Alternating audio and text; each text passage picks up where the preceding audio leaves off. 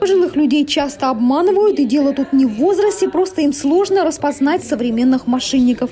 Пенсионерам и звонят, и смс отправляют якобы от родственников. А пока не разберутся, кто и зачем звонил, кошелек оказывается уже пустым. Приходят злоумышленники и в квартиры, представляясь работниками соцзащиты. Обещают помочь, а сами обворовывают пожилых. Потом началось с банковскими картами.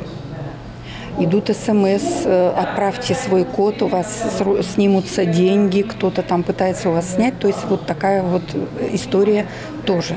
Как не стать жертвой мошенников, этому учит новый проект, который разработан общественной организацией. Ее представители во всех регионах страны проводят обучающие семинары – учат людей старшего возраста распознавать злоумышленников.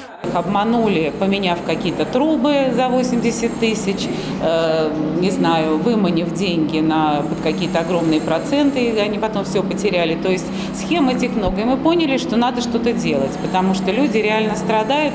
Более того, они потом, например, взяв микрокредит, они оказываются в такой долговой яме, что потом мы, как э, вообще благотворительный фонд и общественная организация, вынуждены им посылать посылки с продуктами. Чтобы не доводить доводить ситуацию до критической, важно научиться быть бдительными. Участие в семинарах бесплатное.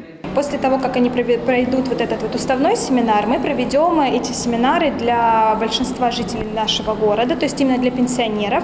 Во-первых, сначала внутри самих волонтеров серебряного возраста, и впоследствии уже будем приглашать через ТОСы, да, общественность для участия в этих семинарах. Наше время такое беспокойное, это очень такая важная тема.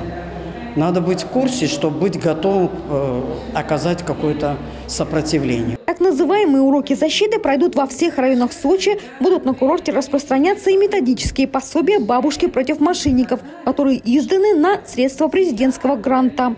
Елена Овсецина, Алексей Давыдов, телекомпания «ФКТ».